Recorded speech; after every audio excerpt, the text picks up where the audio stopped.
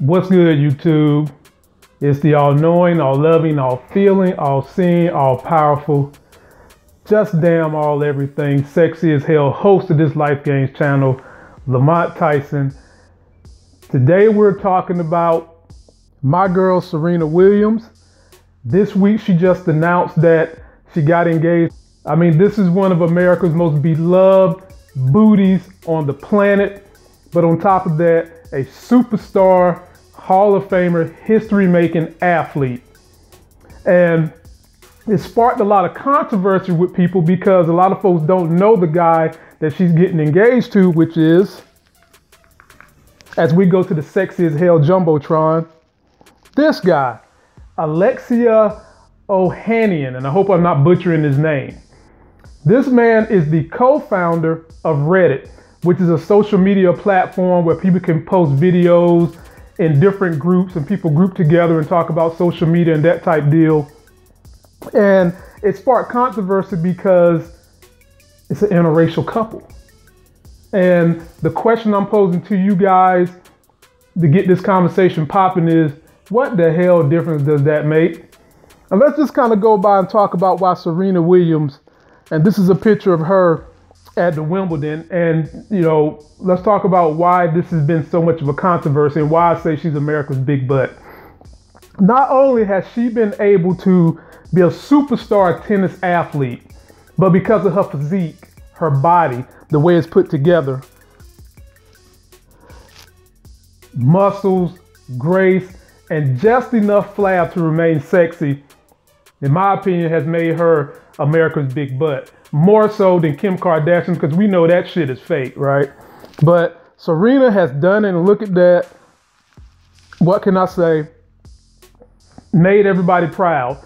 But we have a lot of people on social media going in on them because this is an interracial couple. And guys, at the end of the day, it is so hard to find love in general. I think a lot of people are just coming from old school mindsets where you might have some parents that just don't believe in it. You might have a friend or two that don't believe in it. And some people think that if they were to have kids, you know, what are those kids going to go through? At the end of the day, this young lady has remained grounded. I trust her judgment. I don't know a lot about the co founder of Reddit, but I trust Serena Williams. And if she's happy, and he's made her happy, what the hell difference does it make? We're trying to teach people to be diverse. We're trying to teach unity. The president of the United States is mixed, and look at all the great things he's done for the country, right?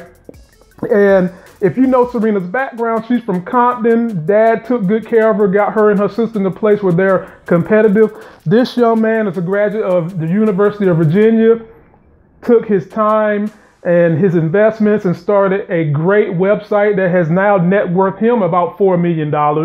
And her net worth is about $150 million. And, you know, it takes a lot for someone who's worth that much money to say, you know what, I'm going to invest in someone whose net worth is way below mine. So I'm telling you guys, you've just got to trust her judgment and let her do her thing. If we are going to get to a place in America where we're going to get past some of the injustices we see and the stereotyping we see and the racial divide that we see. When you see a couple like this come together, we need to celebrate it. We're teaching our children to be diverse. We're trying to teach our children not to be racist. And if Serena is happy with this man, let it be. Let her do her thing. They've been dating for over a year now, and that man decided to pop that question. So my hat's off to him. I'm sorry, fellas, she's off the market. You can forget about that. And let's hope that they maintain a great relationship for years to come and that they'll be great role models of what love really is all about. All right, that's gonna do it for this video, ladies and gentlemen. Don't forget to like this video, comment, and subscribe. Go out there and get yourself a life game. Leave me a comment on what you think we can do in America to overcome this little bit of a racial divide we're having. How do you feel about interracial dating so we can get the conversation popping? And until the next Sexy as Hell video, we will see you guys.